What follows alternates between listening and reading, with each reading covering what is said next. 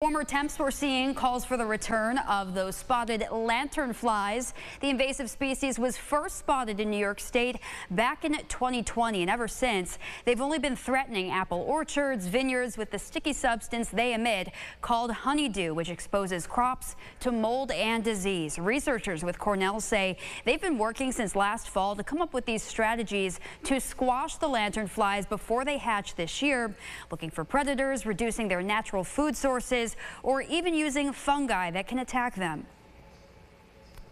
There's a lot of work going into kind of seeing can we can we kind of commercialize that? Can we turn that into can we take spores of that and turn it into a spray that we can then spray onto either the trees or onto the insects themselves or something that can then use that as a natural control um, rather than again having to use having to use chemicals, which we really don't want to use if we if we can avoid it.